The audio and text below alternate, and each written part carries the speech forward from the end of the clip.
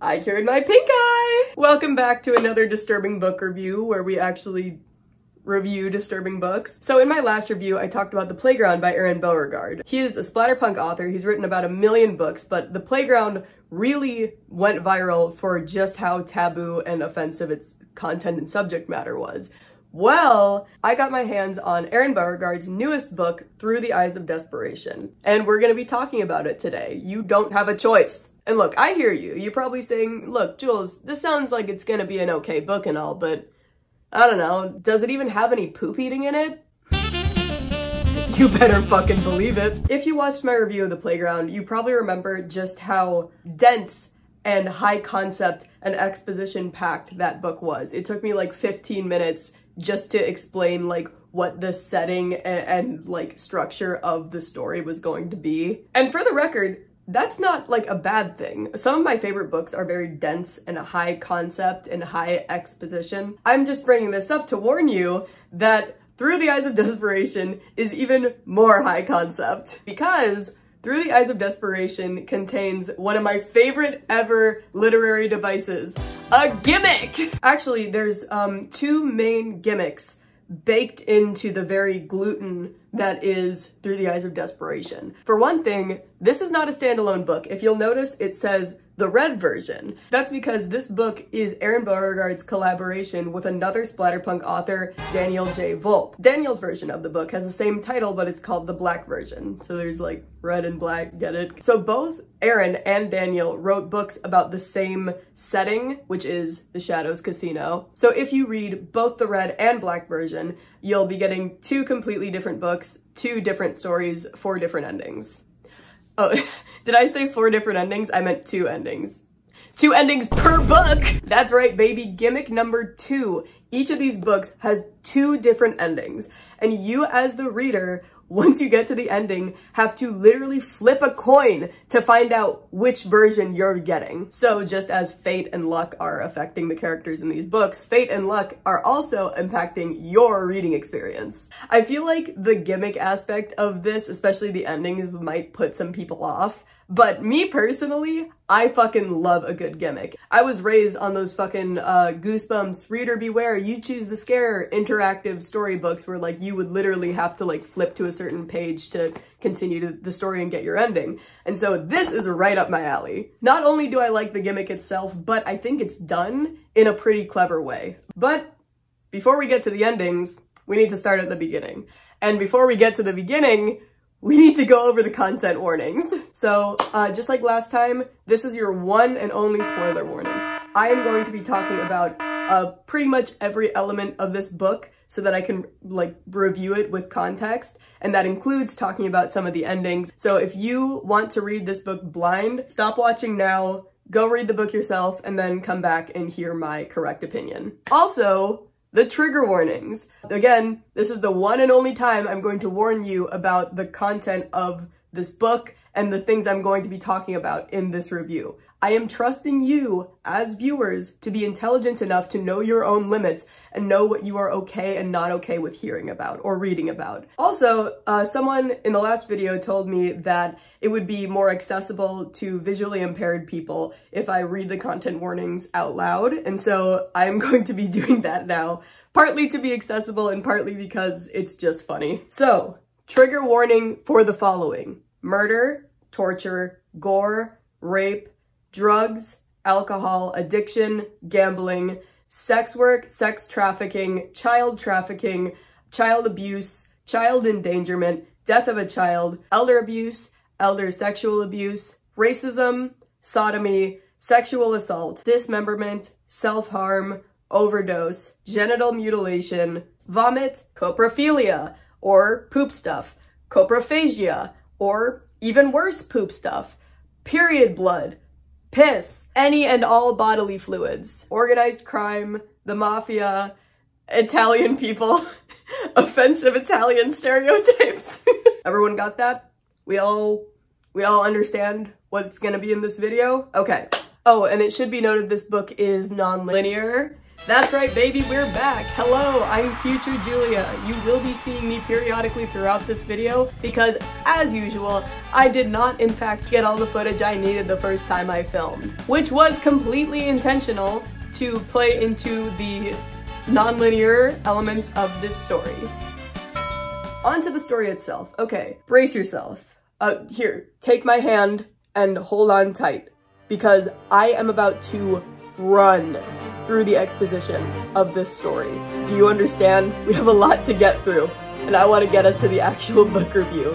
So you're gonna have to fucking keep up with me, okay? And later we're gonna slow down and actually go through the individual things in this book. But just for right now, you just have to, you just have to fucking run with me, okay? Just fucking run with me. So, Meet our protagonist, a man named Red. Through a series of flashbacks, we learn that Red used to be a serious heroin addict as opposed to a casual heroin addict. When he was in active addiction, he used to live with his girlfriend, Brittany, who she's a sex worker who is also addicted to heroin. They also had a daughter living with them named Desi. Although Red doesn't actually know if Desi is his biological daughter because you know? He genuinely loves her and treats her like his own. It's actually kind of sweet. But none of that matters because one day, Red came home and discovered that Brittany had fucked off and took Desi with her, so wah wah. Red takes this devastating loss as a wake-up call, and he starts making moves to turn his life around. He moves back in with his ma, he goes to rehab, he gets sober, he gets a job, things are looking up. Then one of Red's friends is like, hey, me and some of the guys were planning to mark cards and cheat at gambling at this one local casino that is run by the mafia. You want in? And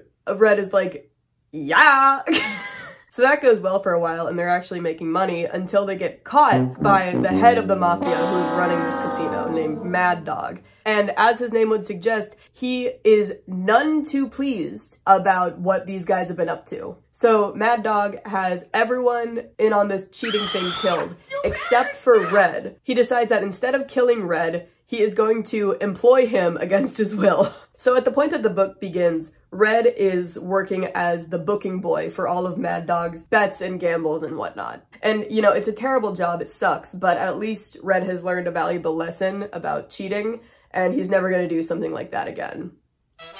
Just kidding! Red starts fudging some of the numbers in the betting books so that he is taking out like small amounts of the profits and keeping them for himself. And he's using this money not just to support him and his mom, but also to pay a private investigator to try to find Brittany and find out where she took his daughter to. Anyway, surprise, surprise, Red fucks up and he gets caught sneaking money from Mad Dog and he's like, oh shit, I need to get my mom in Skip Town now. But when he gets to his mom's house, two of the mafia goons named Dane and Bugs are already there having tea with his mom. Bugs pulls Red to the side and is like, listen, you stole like a million dollars or something from Mad Dog and you are going to pay it all back in insert time limit here or else Dane and I are going to do insert horrible things to your mother. Red is like, but that's impossible. How am I supposed to make that much money in such a short amount of time?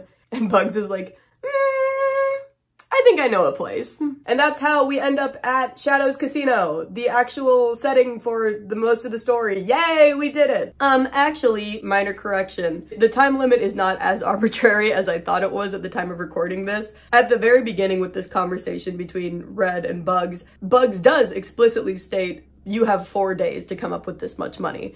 Um, but it was just mentioned so briefly the first time I read it that I just, it went right over my head. And so, and so the whole time I was reading the book the first time, I was like, what's the big idea? He didn't even give us a time limit. How much fucking time do we have? So yeah, Shadows Casino is, as you might have guessed, a casino except fucked up and evil. But in my twisted mind, it's just a normal casino. At Shadows, it is possible to earn crazy amounts of money and you don't actually need money to play any of these games. But if you lose, then you'll be paying with your body parts. Bruh. Red sees uh, two things right when he walks into Shadows that really like set the tone for his time there.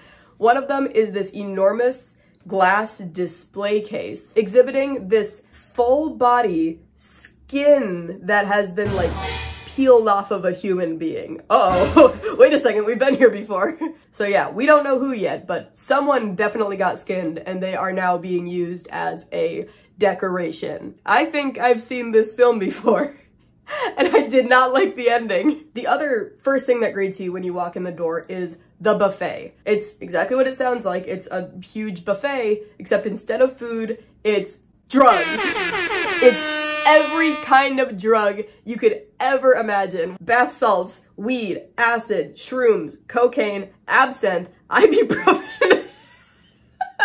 One of the drugs that is available at the buffet is spice which is problematic in its own right because we know that that was not ethically collected, you know? But also available at the buffet is heroin, which was Red's drug of choice. The whole time Red is there trying to focus on like what he has to do to make this money, he is fully aware that heroin is right within arm's reach of him. It's fucking free. It's right there. I really like the way that Aron Beauregard wrote Red struggling with his addiction. I myself am not an addict. I don't have firsthand experience with it, but the writing does such a good job at emphasizing that like hunger that Red is feeling. Like he'll see a game and he thinks about trying to play it, but then he's like, oh, I'm so stressed, I can't focus. Maybe I could play if I could relax just a bit, you know? There were so many points where I was certain that Red was about to relapse.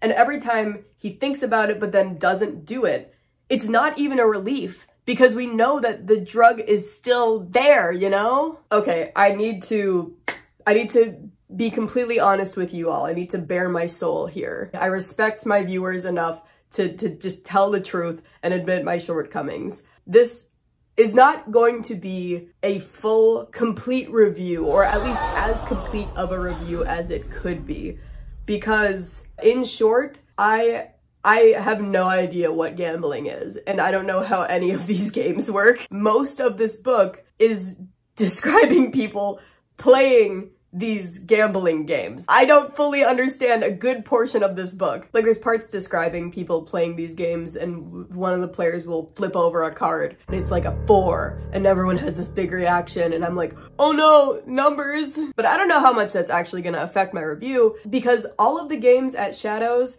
seem to have had their rules altered to be even more unfair. The biggest and most consistent difference with these games is really the penalty for losing one of them. For example, when Red gets to Shadows, the first game that he sees being played is three card Monty. Uh, you know, where it's like there's three cards face down and one of them is a queen and the dealer mixes them up and then you have to guess which one is the queen.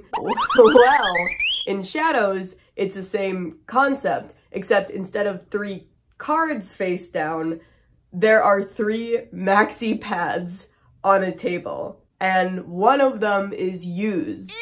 I think you know where this is going. Red watches this guy playing this game where he's trying to find where the used pad is and he guesses wrong and the dealer tells him that as a penalty for losing, he has 30 seconds to eat it.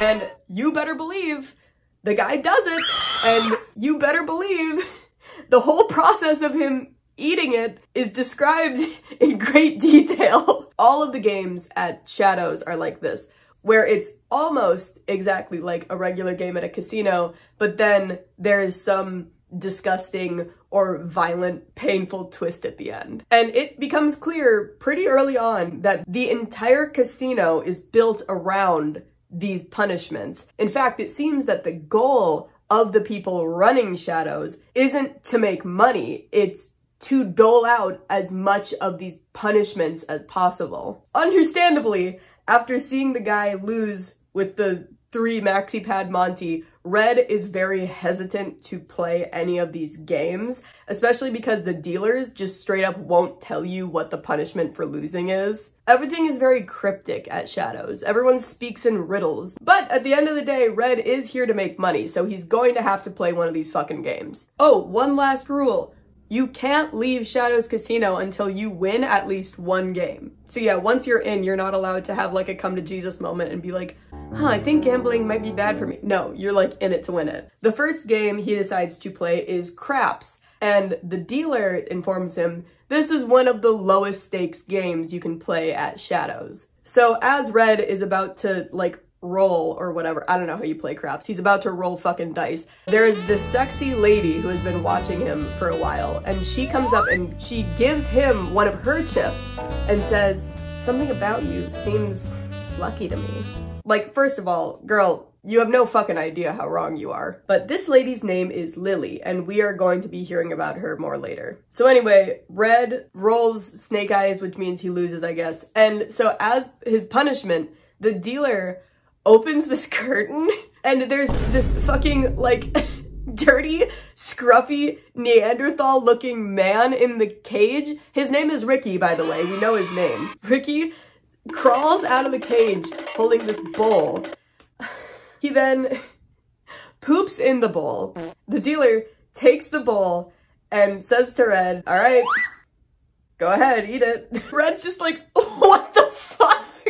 This moment happens so abruptly. This is not my first rodeo with Aron Beauregard, okay? I went into this book knowing that there was gonna be like gross poop stuff or eating gross things at some point. There is no possible way I could have like braced myself for this moment to happen out of nowhere. Anyway, you can imagine what happens next. Red has to eat the whole thing in great detail. The first game he plays. This is the first game he plays at the casino. So uh, after this point, Red kind of forms this friendship with Lily, the woman who was watching and gave him one of her chips. And like the whole time they're friends, she's just like inexplicably magnetized to him, you know? I find her statement of like, something about you seems lucky to me so funny. At first, I thought that was just her like being dumb and having bad judgment, but it turns out there is something very special about Red.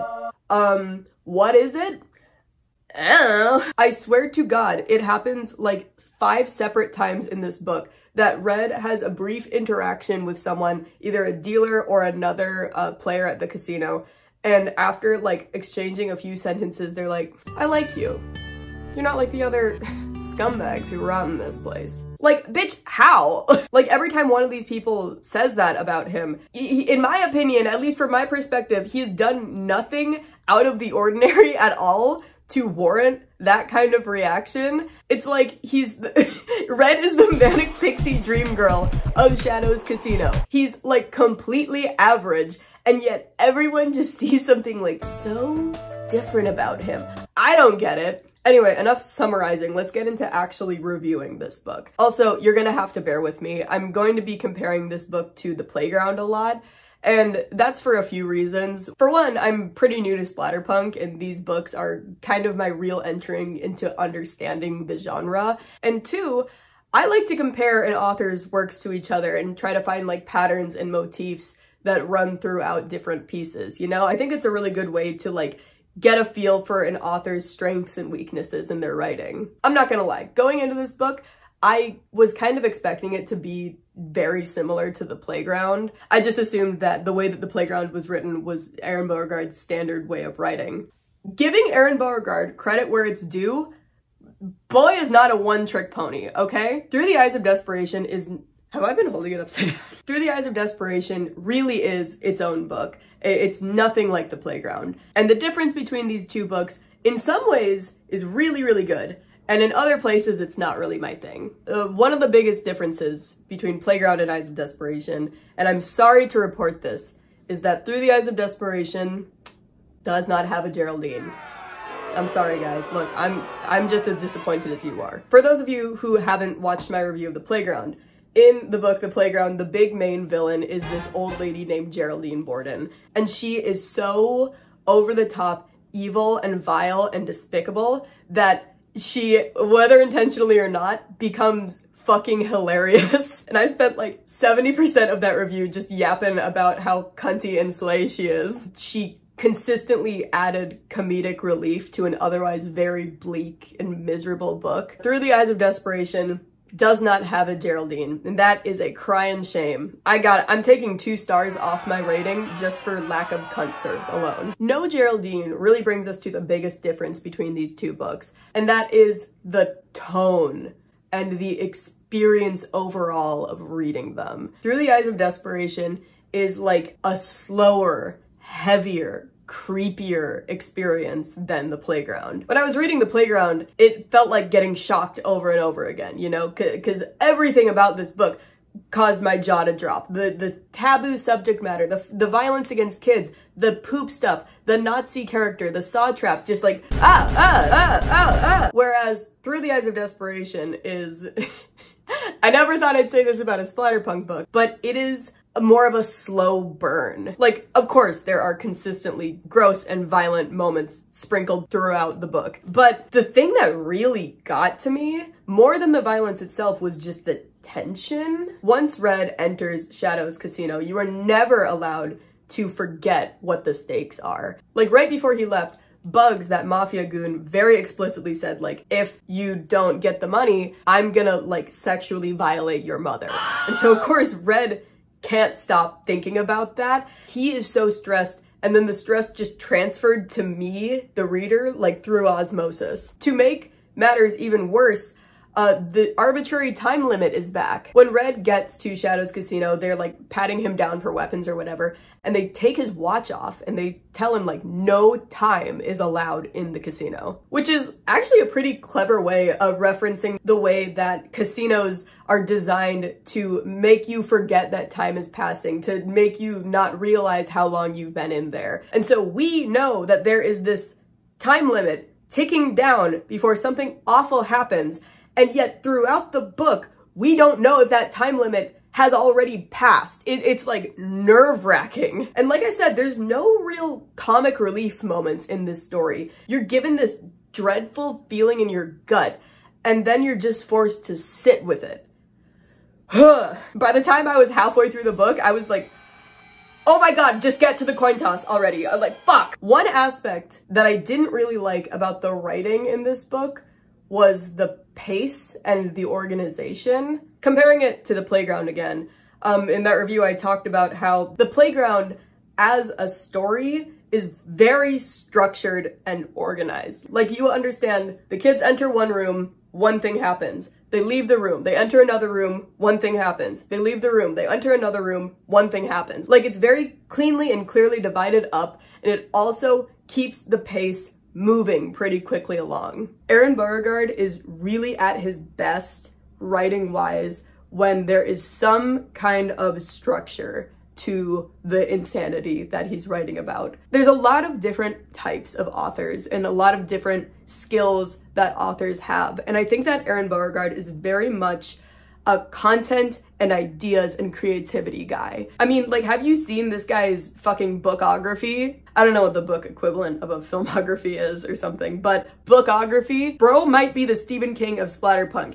He has written roughly 1 billion books over the course of his career. And between the last time I filmed and this time, just as I was editing, he announced that he has another book coming out this year. Bruh. Aron Beauregard and his stories are so bursting with these ideas and these concepts. And like, there's just so much there. And let's be clear, I am not for one second saying like, oh, Aron Beauregard needs to tone it down and stop trying to fit so much shit into his books. Quite the opposite. I love that he does that. I just think that he is at his best as a writer when he has some guidelines to keep all of these ideas and concepts together and moving forward. Through the Eyes of Desperation, is not clearly organized. And that leads the, the writing and the story to feel a bit meandering. Additionally, Red doesn't play many of the games at Shadows.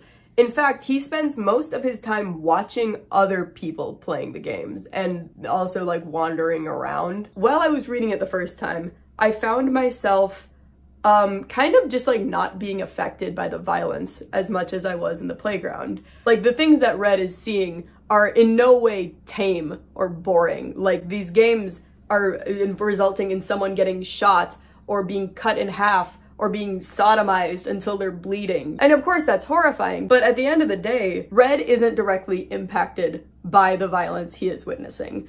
Um, and I think that's really where my problem with this wandering part of the story comes from. I spent a lot of the book kind of frustrated and confused at our main character. Like, bitch, we need to make some money. Like, are you gonna do something or not? Because really, throughout his time at Shadows, Red doesn't fucking do a lot. And every chapter that passed with him not doing something, I was growing like increasingly agitated. And maybe that level of agitation was what the author was going for. Um, I certainly didn't like it though. That being said, logistically I understand why Red doesn't play many of the games at Shadows. Because the penalty for losing most of these games is like dying. So if Red was super interactive and playing a bunch of games, he would either die and then the book would be over, or he would have to win every single one of them, and then there would be no tension. Also, it's pretty understandable why he wouldn't want to play a game again after the first game he played resulted in him eating poop. Let's talk more about Lily, that lady that Red kind of becomes friends with. After Red gets done eating poop and the two of them kind of establish that like, okay, we can form an alliance together or whatnot, she leads Red to a place called the Dollhouse. The Dollhouse is this strip club slash brothel that's connected to Shadows where like players can, I don't know, do that kind of stuff. Oh yeah, by the way, Shadows has all kinds of stuff besides a casino, apparently. There's the Dollhouse, there's a theater where I guess they do shows every day. That's fucking fun. There's something called the Mystery Parlay, which we will get to later. Like, fuck, there's probably also a fucking karaoke booth somewhere in here which I would love. Lily is one of the sex workers at the dollhouse, and I, I forget if it's explicitly stated, but it very much seems like she's imprisoned there. Like, I don't know if through paying off debts or sex trafficking or something, but she is definitely not there for fun, you know? So Red and Lily get a seat at the dollhouse and he pretty much tells her his entire life story about like his mom and Mad Dog and the Mafia and the money and his dad and his addiction and the private investigator, how he wants to see his daughter again, you know? And Lily is very sympathetic towards him. She's very kind and understanding. And when he's done telling his life story, then he's like, so what's your story? And she goes, I'll, don't worry about it. I'll tell you later. Bitch, what? Lily is a very mysterious character, all in all. Like, I, I don't think we ever actually learn much about who she is. And it makes me wonder if in the black version, we'll learn more about her. The whole time Red is bopping around shadows, he has a bunch of like brief conversations with other players. And each of these players gives him not advice, but like stupid cryptic hints of advice. These people cannot communicate for shit. The main takeaway that we get from all these interactions boils down to don't play blackjack. Blackjack is the most dangerous game here. The slot machines are a pretty safe way to make money, and most importantly, above all, avoid the Black Widow. The Black Widow is this mysterious woman who is the current owner of Shadows. We never hear exactly what is so dangerous about her, but I mean, she's called the Black Widow, so I'm assuming she might have killed a person or two. Bruh. Lily is kind enough to give Red some more like cryptic half pieces of advice, and she also reiterates stay away from the Black Widow because she's apparently a fucking monster. Sure enough, guess what happens next?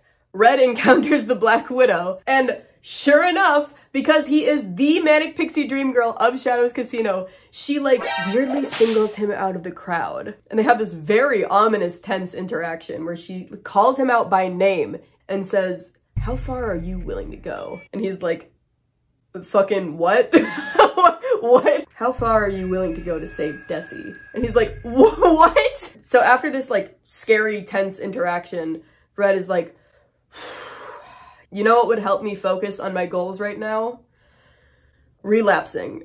so yep, that's it. He goes to the buffet and just fucks up some heroin right then and there. And this is probably one of my favorite depictions of a drug trip I've ever seen in, in literature. It honestly reminds me of the psychedelic portions of the book Fluids by May Leitz, where the drug trip itself is so like dizzying and kind of hard to read. He's been sober for years now, and so this heroin just hits him like a truck and he's also mixing heroin and cocaine. It describes him like nodding off while also having heart palpitations and like falling asleep and getting back up and not knowing how much time has passed and like trying to walk and falling over. It, it's like kind of sickening to read. And while Red is tripping balls, an announcement comes over the loudspeaker that says like, hey everyone, there's a special magic show happening in the theater with our special guest as the assistant, Lily. Red is, of course, concerned and he's like, why is Lily in this magic show? This can't be anything good. And so he like still tripping and nodding off goes to the theater and like falls into a seat. Red sees that Lily is in a wooden box thing and the magician is about to perform that like classic I will now saw my lovely assistant in half trick. Except um I don't know if you've picked up on the vibes going on here, but I have a feeling that something is going to go wrong during this magic trick. So Red is in the theater and he sees Lily is in danger and he's like, oh my god, L Lily's in danger, I have to do something.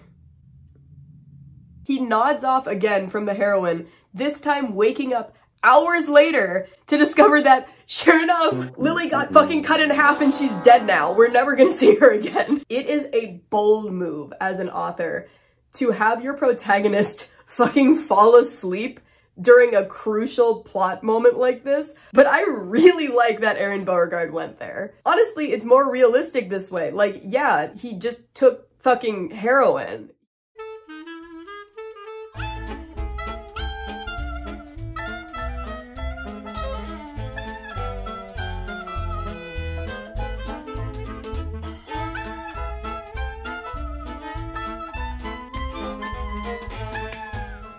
Let's talk about the Italian stuff.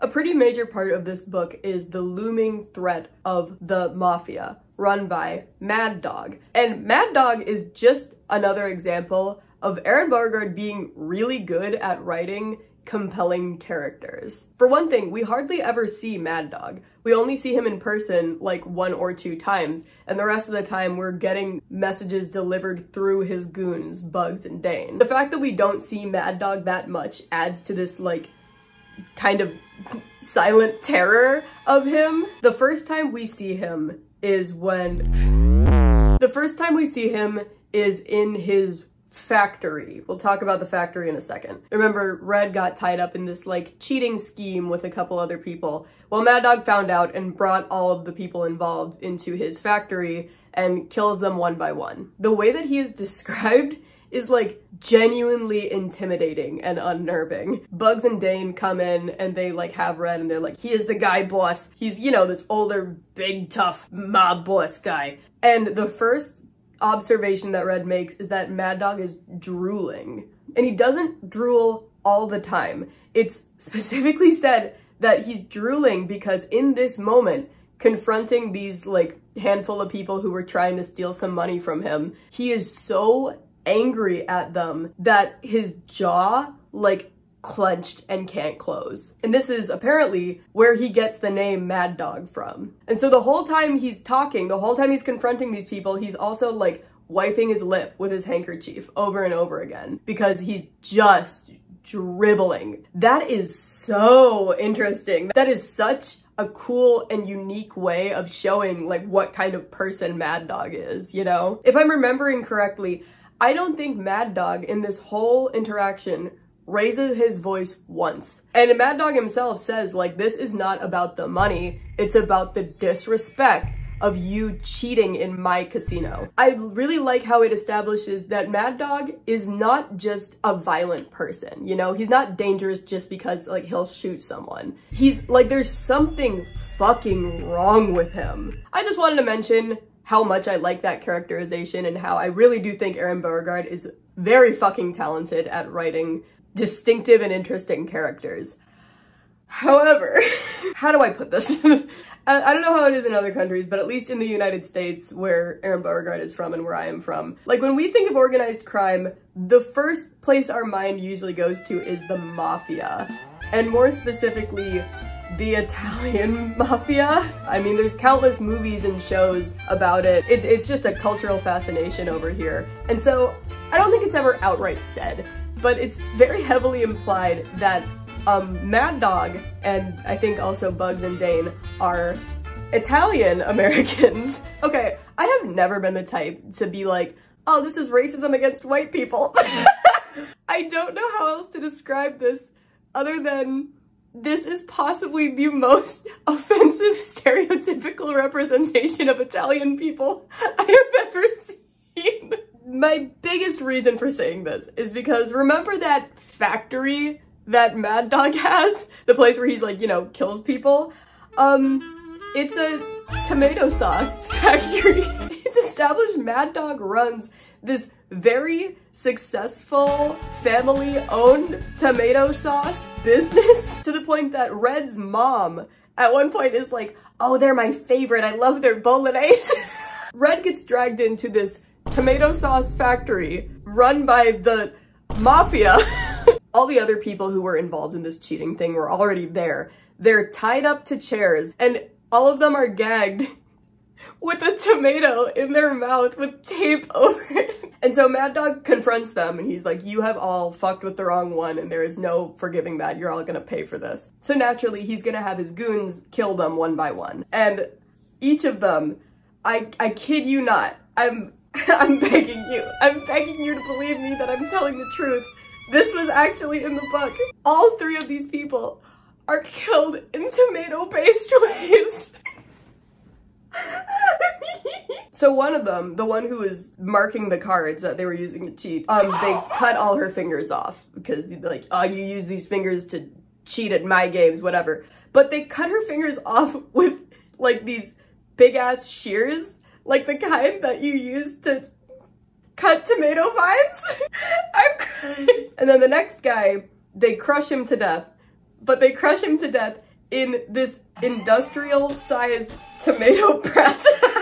they put they put his ass in there and they just squish him. And finally the last guy, who it turns out is Mad Dog's nephew or something. What the fuck? Like, if you knew your uncle was this scary, why the fuck would you like try to get one over on him? Well, first of all, he puts a knife in this guy's spine paralyzing him, like from the legs down. Oh, but before he puts the knife in, he's he has this quip where he's like, like I can't believe my own family stabbed me in the back, so I'm gonna show you getting stabbed in the back. So yeah, anyway, bro is paralyzed from the legs down, but of course, that is not tomato-based enough of a murder. In order to actually kill him, they throw him into a boiling vat of tomato sauce.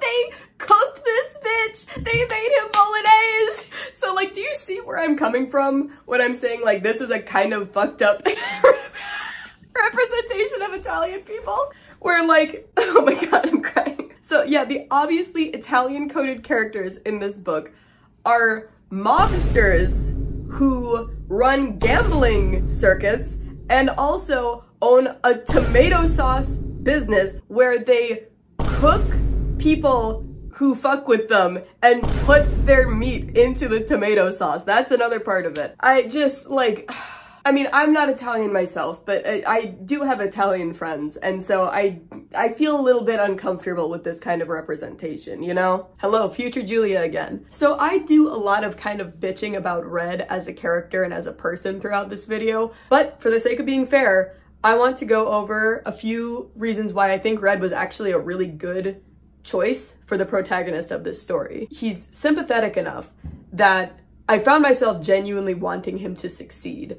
And he's also dumb enough to make enough bad decisions that keep the story going, you know? And I can't talk about Red as a character without talking about his mom. His mother and his relationship to her are like vital to this story. Red's main motivation throughout the book is, I mean, one, finding Desi, but more pressingly, it's his mother and her well-being. Like we learned that after Brittany left with Desi, Red's mom is the whole reason that he was able to start turning his life around. Like she took him in, she got him into rehab, she got him a job, she like didn't for a second hesitate on like wanting to save her baby boy. We get this kind of generalized understanding of Red and his family dynamic. We know that Red's father was also involved in like organized crime and kind of like gambling, gang life, whatever.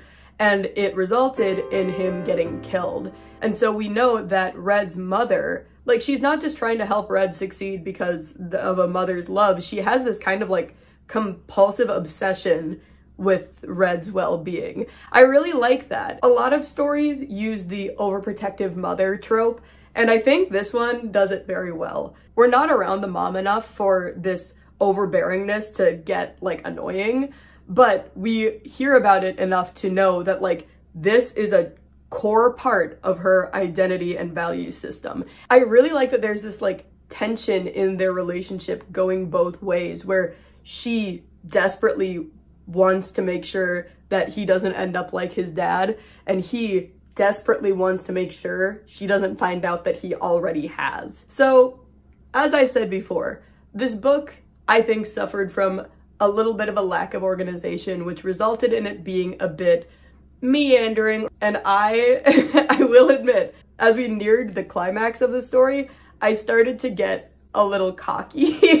I kind of found myself thinking like, I guess old man Aron must have lost his touch, because I haven't even found myself wanting to throw up and die once while reading this book.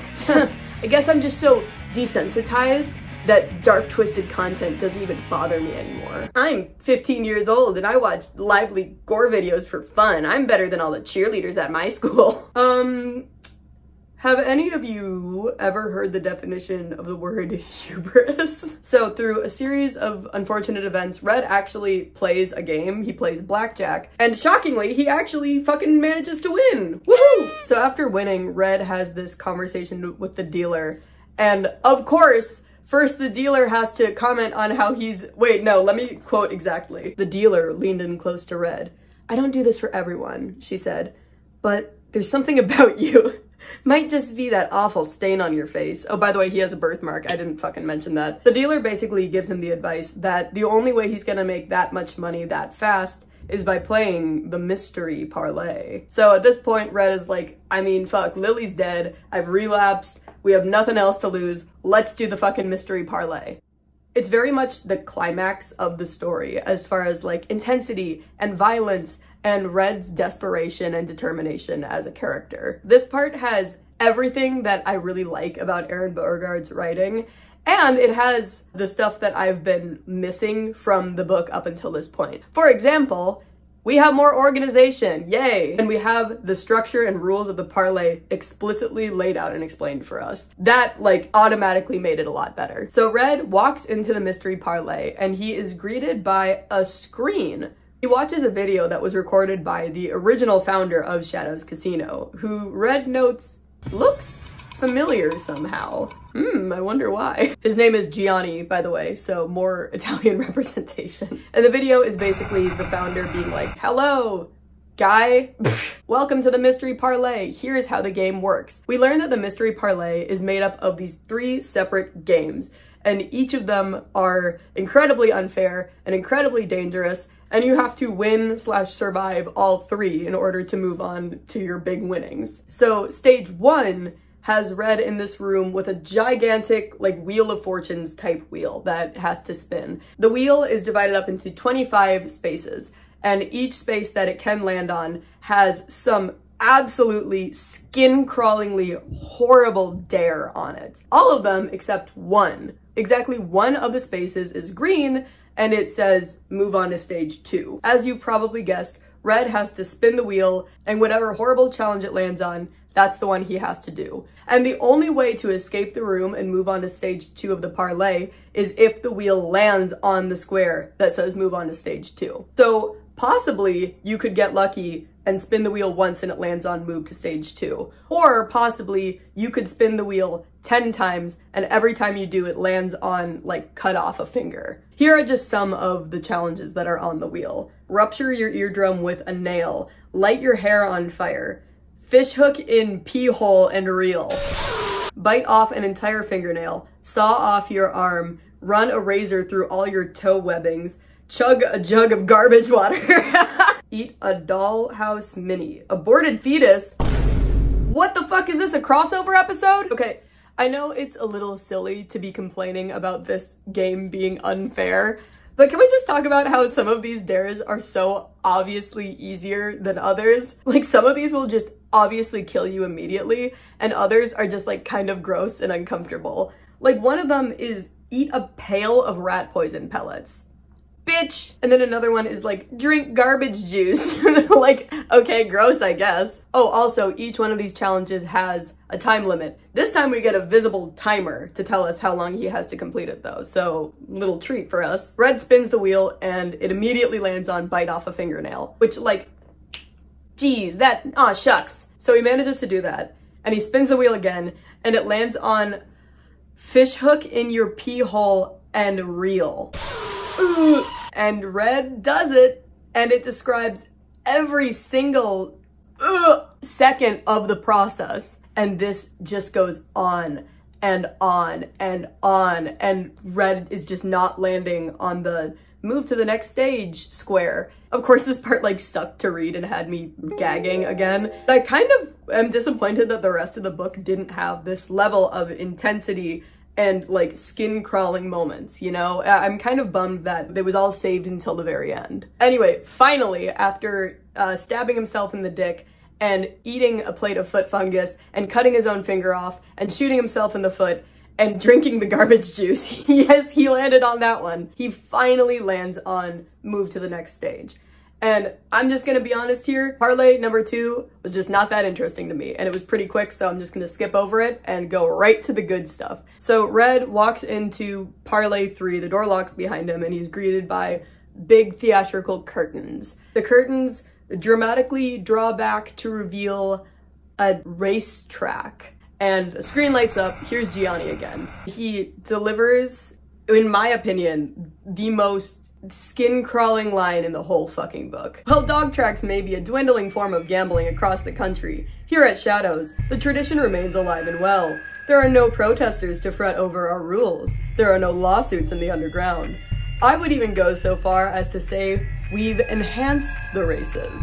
Another curtain is pulled on the racetrack to reveal four cages. And in the cages, there aren't race dogs, there are four children with bags over their heads. Why are there always children, Aron? Why do you keep bringing the kids into this? There's two boys and two girls in these cages.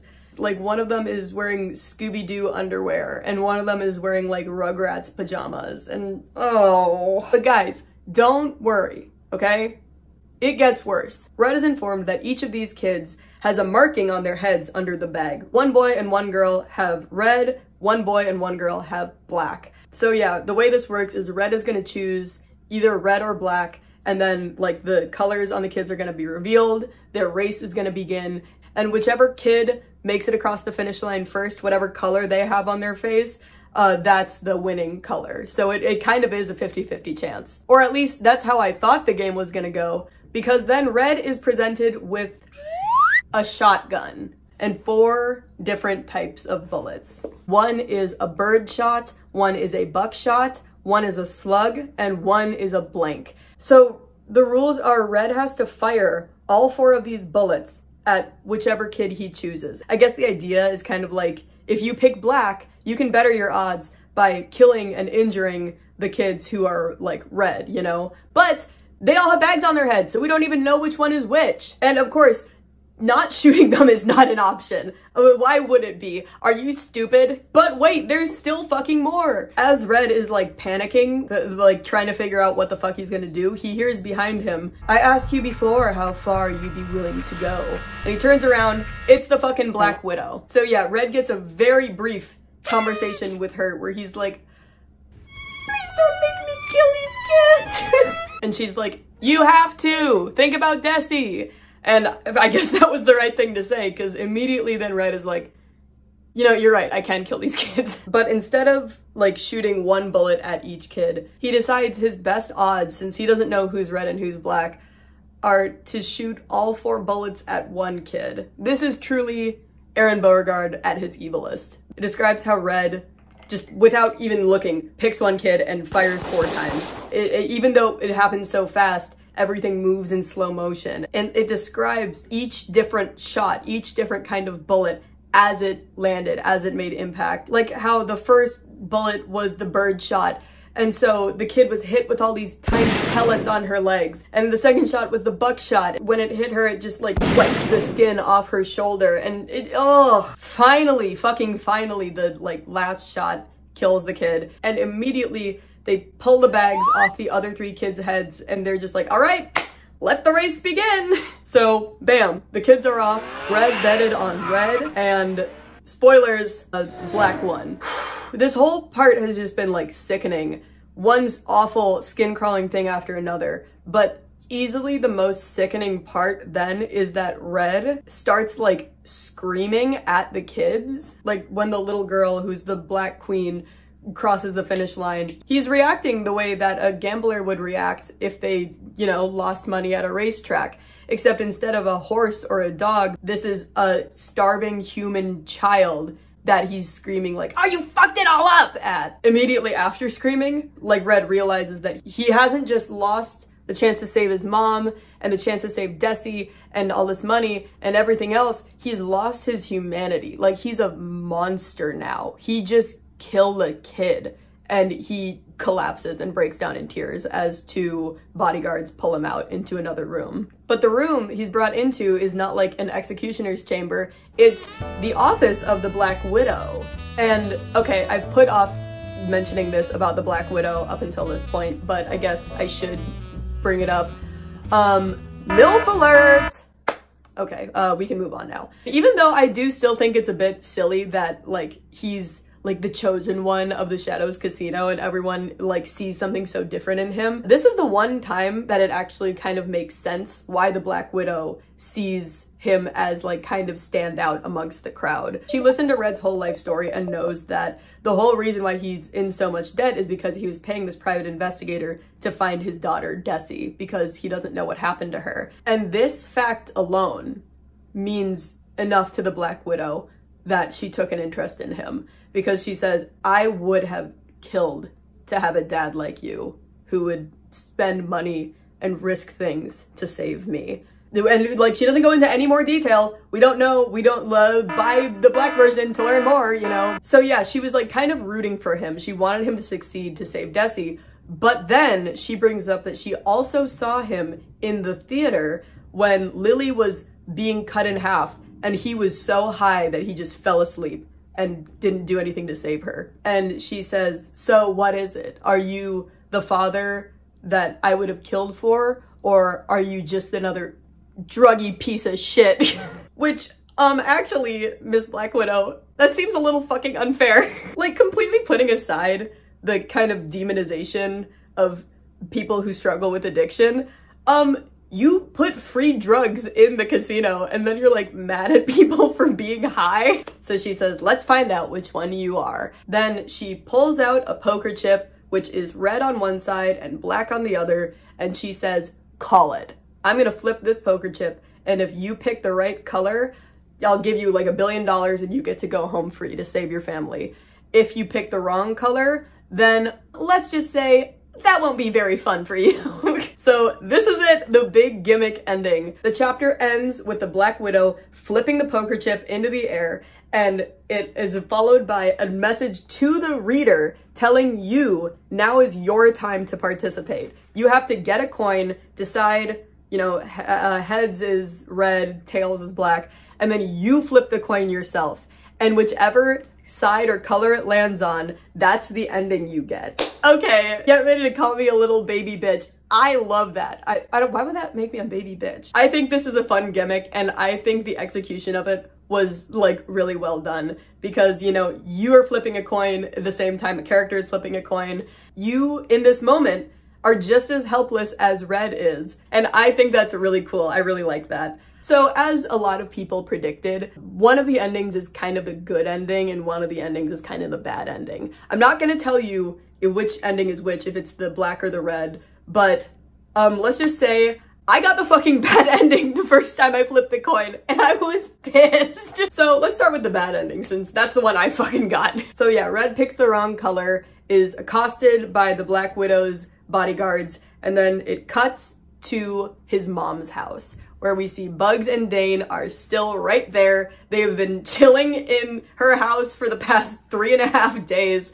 and they are getting antsy. Side note uh, about Bugs and Dane. They are pretty small characters, you know, like they, a lot of the book isn't dedicated to them.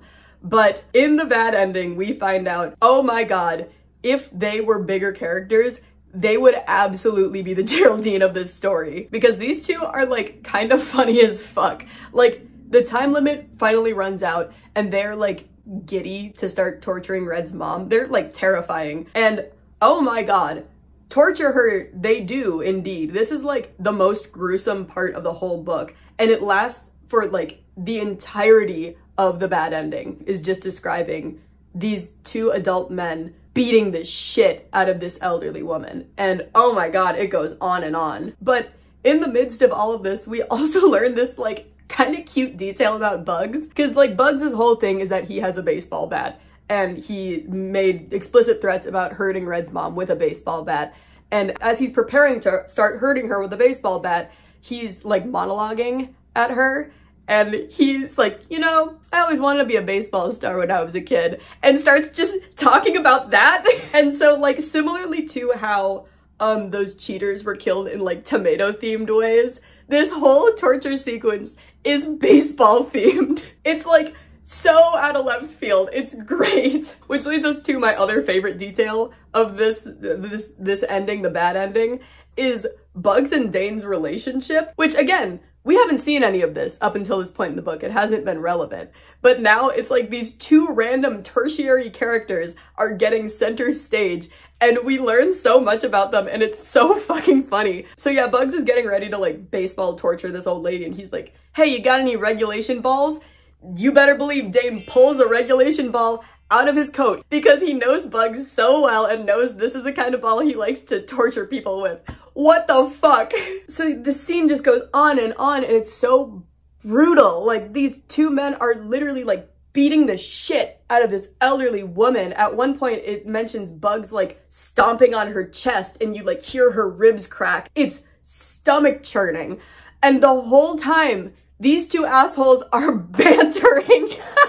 I kid you not. I need you to believe me when I say at one point during this torture scene, Bugs stops what he was doing and the two of them have an interaction like this. Yeah, yeah, take that, old lady, die. Take that, old lady.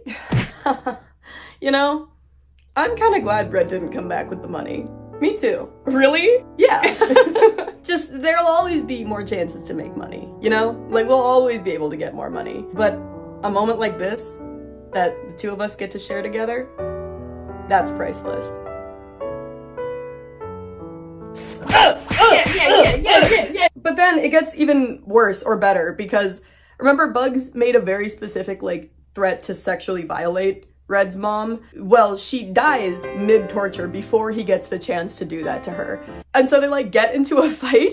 The book literally describes it as they fight like an old married couple. And that's exactly what it sounds like. It's like, She is? Yes, she is, you fucking idiot! You, Sorry. You took too long, you always fucking do this! Okay, it's just relax. No, don't tell me to fucking relax. I, I didn't get the chance to do that sex thing, the sex violence that I wanted to do with the Yeah, bat. I mean, her being dead, that doesn't stop anything. You can still do it. Uh, Go, do it. Uh, no, I don't want to now. Are you serious? Fucking idiot. Don't worry though. By the end of the chapter, the two of them make up and they successfully desecrate Red's mom's body. So yay! Finally, after we learn the fate of Red's mom, we learn Red's fate. Instead of killing him, the Black Widow has given him a fate worse than death. He is now one of the employees in the Shadows Casino, imprisoned against his will, just like how he was employed by Mad Dog against his will. It describes that just like when he first entered the casino, Red doesn't know how much time has passed. He doesn't know how many weeks, months, or years he has been trapped in this hell, and he'll never know what happened to his mom, and he'll never know what happened to Desi. And grossly of all, they, they keep giving him just enough heroin to keep him addicted, but never enough to like actually feel good or like let him overdose and die. So that's a bummer. Anyway, on to the good ending. In the good ending, sure enough, Red picked the right color in the coin toss and the Black Widow is like, well, now you get to go home free and you have a gazillion dollars. We again get a very brief but very fascinating conversation with the Black Widow. And she, just like Mad Dog, is another example of Aron Beauregard being really good at writing compelling characters. Red uses this opportunity to ask, like, why why are you using kids in the racetrack? Why are you doing that to them? And the Black Widow is just like, what do you mean? And Red is like, well, they're kids. Like, I get putting adults through bad things, but like, they're literally children. And the Black Widow just responds, why should their age protect them? It didn't protect me. Like, again, we barely know anything about her. We barely get a moment with her. But just from what we do know, we see that like she is someone who has been hurt in the past. And so because she's been hurt, she doesn't see anything wrong with like hurting other people. It's so like ugh. Like everyone's been talking about her throughout this whole book as like, oh, she's a monster. You don't want to be near her. And we finally are hearing her philosophy and it's like, oh, you kind of are a monster, huh? Um, and so even though she's the one in complete control, she continues implementing the same horrible child torturing elements that the past owner did. Honestly, this conversation alone is what made me decide like I do want to read the black version because the black version apparently is like more of her origin story and I gotta fucking know what her problem is. So anyway, the rest of the good ending is kind of just a victory lap. It's it's so weird how fast things happen. Like he um, wins the coin toss, he wins his bajillion dollars, he gets to leave, he makes it home in time to save his mom, he kills Bugs and Dane, he shows up at Bugs and Dane's joint funeral to light the place up and single-handedly take out the entire mafia, including Mad Dog. He like literally brings a rocket launcher. and cherry on top, he finally gets uh, the private investigator to tell him where Brittany, his ex, is. So he hunts this place down and he walks in on her pegging a guy. okay, we get like an unnecessarily long description of her pegging this guy. And it's like, Red busts in to confront Brittany to save his daughter once and for all. His Brittany is like in the act and she's like, uh yeah, you like that, you little bitch. You like it when I, oh my God, where is my daughter? So Brittany doesn't tell him anything, but the guy who she was pegging does. And he reveals this gut punch of information that Brittany sold Desi a while ago. And Red is so driven and locked in that this information doesn't even phase him. He's just like, who? Who did she sell her to? Tell me now. The Peg E is like, a, a cobbler. She sold her to a cobbler. What? A cobbler? At no point in this book, at zero points up until now, did the act of shoemaking and repair come up. And now we're finding out that like the missing piece of the puzzle, the answer to the question that has driven Red this whole time is some fucking cobbler we've never met before. I, I wanted to reread the whole book just to see if there was like this secret cobbler character or reference to a cobbler that I missed. But luckily, I didn't fucking have to. There is an afterwards to this book. Like after the story is done, right at the very end where it's promoting the black version, it says, to learn more about the cobbler, read Sew Sorry by Aron Beauregard and Daniel J. Volpe. These bitches have a cinematic universe? So this... So yeah, in order to find out what truly happened to Desi or who this cobbler truly is, you have to buy another Aron Beauregard Daniel J. Volpe book. Uh, am I gonna do it? Probably. I'm fucking stupid. and am I gonna review it? Probably. I'm fucking stupid. Hello, I'm from the future. I thought everyone might like a little update. They got me. They fucking got me. So yeah, um, that's the end. Those are both the endings. So, would I recommend this book? As usual, it really depends. If you can handle all the trigger warnings, if you can handle a very different kind of splatterpunk story and its structure and pacing and whatnot, if you can tolerate rampant anti-Italian microaggressions, and if you're ready to be very uncomfortable and on the edge of your seat, then yes, by all means, you should read this book. Just in my opinion, I think I prefer the playground over Through the Eyes of Desperation. It, it's kind of silly that I keep comparing these two books because these are two out of the 500 other books Aron Beauregard has written. And it's not that Through the Eyes of Desperation has like bad writing or anything. It's just a little observation. I'm just, I, I do a little observing, you know? Oh wait, one last other thing about this afterwards section. Um, in the last chapter of The Good Ending, uh, Red at one point calls Brittany a scunt. Bruh. Says you fucking scunt. And if you're anything like me, I assumed that that was uh, that was a typo and he meant to just say cunt.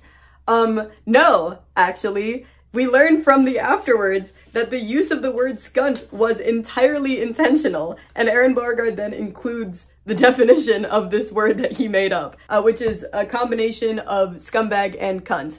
So it basically means cunt. Bruh. like there's better ways that you could have communicated that it wasn't a typo, you know? Like me personally, if I was trying to like uh, pitch a new slur, like invent a new mean word you can say, you can like have multiple characters say it throughout the book. So then it's like, oh, okay, I guess this is like in this universe, it's a common thing that people say instead of just throwing it in there once and knowing that it's so out of place that people will assume that it's a typo. I don't know, I'm just throwing things out there. Anyway, that's all I have for you today. What a fucking mess. That's all I have for you today.